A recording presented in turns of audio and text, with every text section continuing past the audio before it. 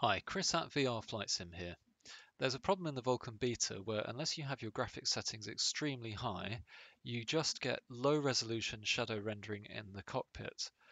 There's a setting that you can change to make it so that you have high resolution shadows whatever your outside detail settings, and I'm going to show you how to do that. So if we just go to Explorer, and if you can go to your X-Plane 11 resources folder, so X-Plane 11 resources. And there's a file here called settings.txt. Now, Laminar Research quite rightly don't want people fiddling directly with this. And in the past, we used to use FlyWithLua scripts to change certain data references so we didn't have to. But those are now locked, so we actually have to change settings within settings.txt. Before you do, and I cannot emphasize this enough, please make a backup of this file. So right click on it, press copy, and then paste and it will come up with settings copy.txt. And I'm just going to move that out into a backup folder. I did that earlier, as you can see.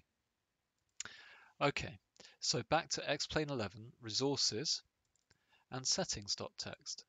Now, if you open this file, and I want you to just press Control and F, and look for FBO forward slash shadow cam size.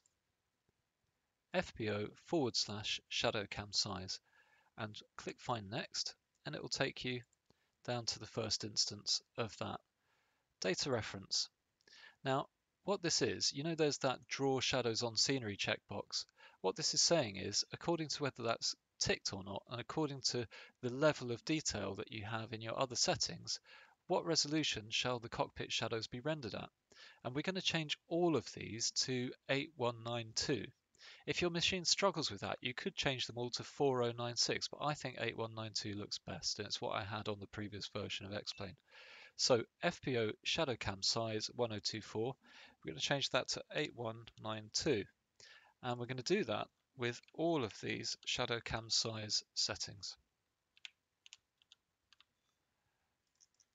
And for speed, you could copy 8192 and then just paste over the top of each of these each of these. Remember we've taken a backup. Oops. We've taken a backup so we're quite happy that if this doesn't work for us we can uh, set it back to normal. Okay let's close that and press save. Right so now when you open X-Plane next time, even at low resolutions, you'll have uh, low detail settings, sorry, you will have high resolution cockpit shadows. Okay, so what we've done is essentially told settings.txt we always want 8 megabyte shadows in the cockpit at whatever setting we're running. I hope that really helps someone. Please remember to take a backup. Don't do this without doing so. If anyone gets any trouble, just let me know. For those of you that are running high resolution, um, high detail settings anyway in your graphics settings, you won't notice any difference because it uses 4096 resolution when you've got all those sliders maxed out.